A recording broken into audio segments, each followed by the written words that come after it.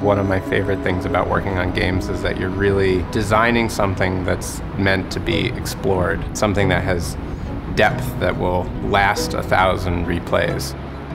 I'm Zach Gage, I'm an artist, and I also make video games. Spell Tower is my most successful game that I made.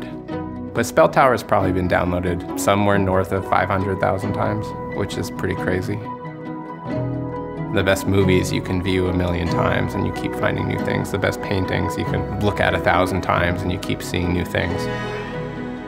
The thing about games is that you're trying to design a system that's so interesting and deep that you can't really ever understand it, but you're trying to design it. So you're trying to make a thing that you yourself could never understand, which is like a really weird kind of goal.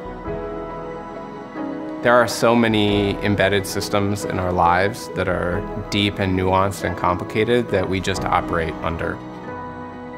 A lot of my art is usually just sort of figuring out how to just question those systems. I always was interested in making things long before I was interested in making games. I was into looking at how things worked and sort of dissecting all the problems and putting them back together in a way that, that made them work better or work differently. That's just really fascinating to me. I had this really sort of important moment in my own growth back in 2009. I made this small game called Lose Lose, which was basically a Space Invaders style game where there are aliens and you can shoot at them. But unlike a normal video game, each alien was associated with a file on your hard drive, and if you shoot the alien, it would permanently delete the file. So it was kind of this way to say these things can be powerful in a way that we're not necessarily giving them credit for. What was so fascinating to me about it was that not only did people play it, but more people engaged with that game than with anything else that I had done up to that point. And it made me realize that games are interactive conceptual performance art where the performer is the, the player.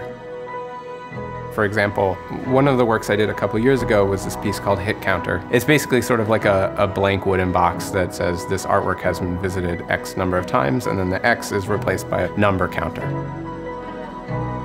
The idea was to take web counters and bring it into the physical world. Not to say that web counters are good or bad, but to ask this question about the metric of popularity. The idea is to build something that's deep and interesting and makes people think and makes people think right away. So that when they're engaging with it, they're not engaging with it in a really light way, they're engaging with it in a deep and compelling way. With games, it's sort of all about creating a system that's so simple that anybody feels like they can understand it. But then when they actually get into it, they start to realize how deep and complex it is and how much they really don't understand, but want to continue trying to understand.